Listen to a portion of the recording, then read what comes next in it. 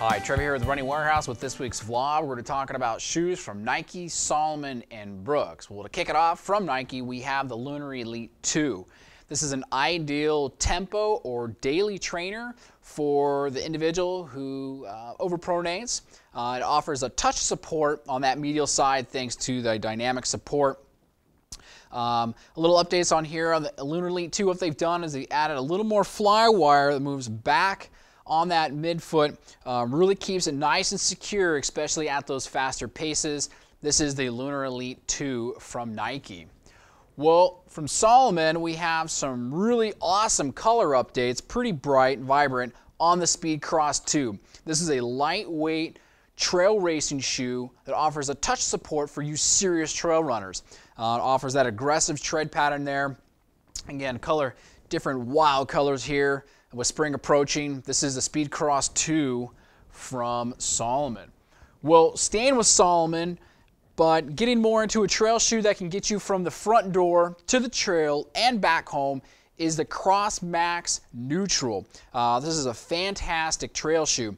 And what they've done is they're using an OS tendon design to uh, against that impact protection, along with making a fluid heel to toe transition. Uh, again, using some of that trusted technology that you come to love from Salomon, like the ContraGrip outsole and the quick lace system there. This is the XR Cross Max Neutral, and Salomon also makes this in a posted version, which is called the Guidance, Cross Max Guidance. Same technology, just that they put that post on the medial side.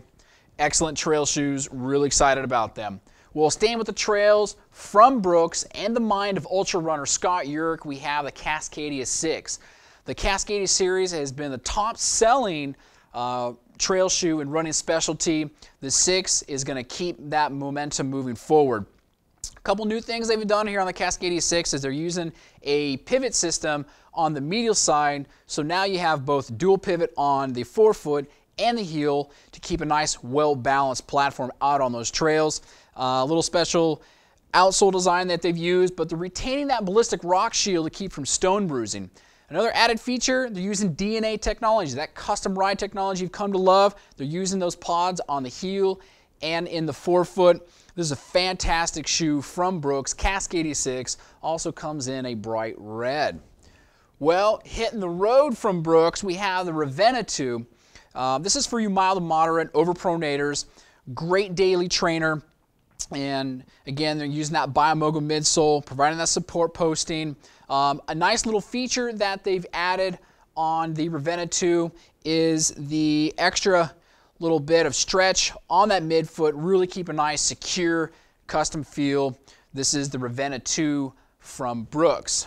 Well, getting into the road racing from Brooks, we have the ST5 Racer. This is for the overpronator who's looking for a touch of support. Brooks is incorporating their Biomogo midsole, which is their premium midsole, and it's also environmentally friendly, which is really cool. What's really special about the 5 is that it offers plenty of cushioning that it can be used as your daily trainer or as your main racer. This is the ST5 Racer from Brooks. We'll get into the bottom line in racing from Brooks. We have the T7 Racer. This is for the serious runner and that is neutral. And what Brooks has done here on the upper is they've redesigned it to stay with the contour of the foot, incorporating those asymmetrical lacing. The result is a superior fit and feel that really feels like an extension of the foot. Um, fantastic design from them. This is the T7 Racer from Brooks. Well, for more on these items, check out the product pages. Thanks for watching.